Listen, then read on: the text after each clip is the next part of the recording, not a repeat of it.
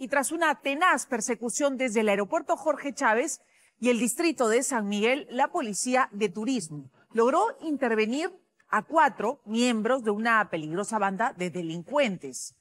Sujetos armados que en las últimas semanas venían asaltando a ciudadanos nacionales, extranjeros, que llegaban al país, a quienes seguían sigilosamente hasta sus casas. Y cuando llegaban ahí, en la puerta de sus casas, aprovechaban para atracarlos y despojarlos de sus equipajes. Mucha atención a este reportaje preparado por Felipe Ríos.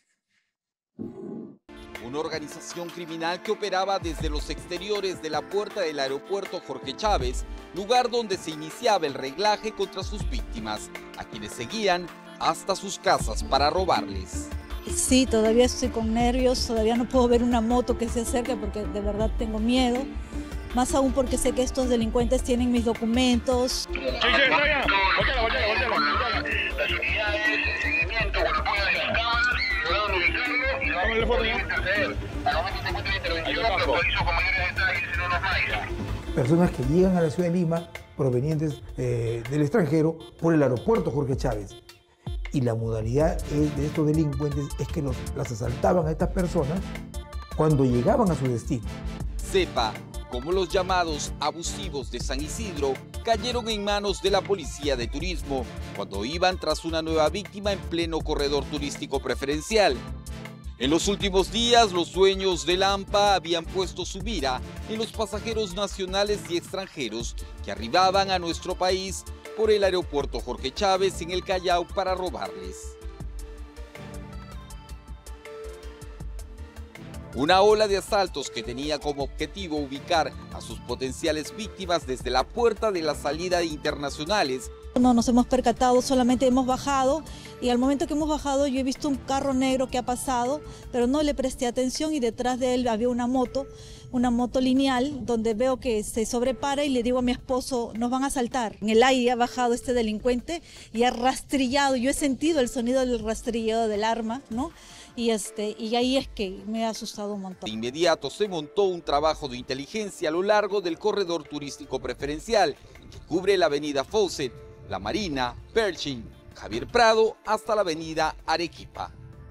El reglaje que hacía esta banda de asaltantes no terminaba en el cruce de la avenida Arequipa con Javier Prado, punto final del corredor turístico preferencial de la policía, sino que este se prolongaba hasta el lugar de destino de sus víctimas, donde armados hasta los dientes los desbarataban de sus bienes.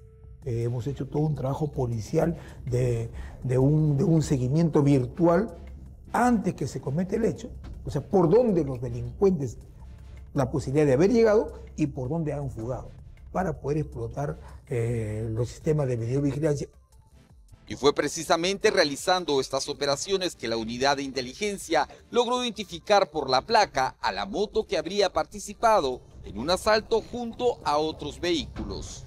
Llegan hasta Escardó, se baja la fémina de la moto y se sube al vehículo y continúan con su fuga.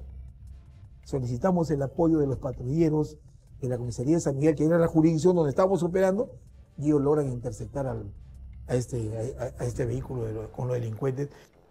El auto Hyundai blanco con los dos ocupantes no pudieron escapar de los agentes del patrullaje integrado de San Miguel, policía y serenazgo, que los alcanzaron en la calle Ucayali y La Mar. avanza, avanza! En una persecución en el distrito de San Miguel, acá eh, en Maranga, está siendo intervenido Vamos a esto, tenemos una fémina y un sujeto, se está revisando el vehículo.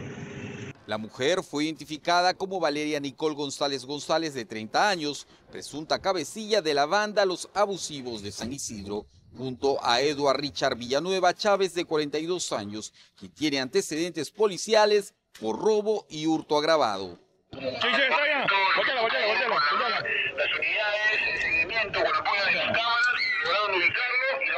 a foto ya. Al momento se encuentra la intervención, lo hizo con mayores detalles Los alertan al que está en servicio ahí y lo capturan. Lo cogen, ¿no?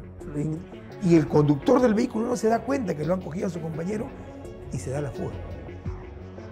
En ese momento se inicia otra persecución y se captura el segundo vehículo, se logra la captura del segundo vehículo. A sus 27 años, Félix Ceballos Portal cuenta con antecedentes policiales por robo agravado y tenencia ilegal de armas de fuego.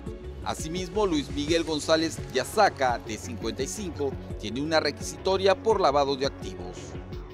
Me preocupa porque no hay un tema de, de seguridad más que todo perenne, ¿no? Si tenemos estos problemas, nos pueden robar a nosotros, nosotros tenemos este, también cosas caras. La verdad que uno trabaja todo el día y este, a la noche sale a pasear a los perros y te encuentras con esa noticia. Bueno. Estos asaltos constantes contra los turistas ha despertado la preocupación de las autoridades que vienen reforzando con mayor número de policías no solo el corredor turístico preferencial, sino también los distritos. Que estamos fortaleciendo la seguridad en todo Lima. Estamos sacando a la calle a todos los efectivos administrativos en todas las unidades, emporios comerciales, están siendo saturados con más personal policial nuestro país este mes espera superar la meta de 2 millones y medio de llegada de turistas, por lo que es importante reforzar la seguridad. Esperemos nosotros dar una imagen de que somos un, destino eh, turístico seguro con este tipo de actividades, ¿no?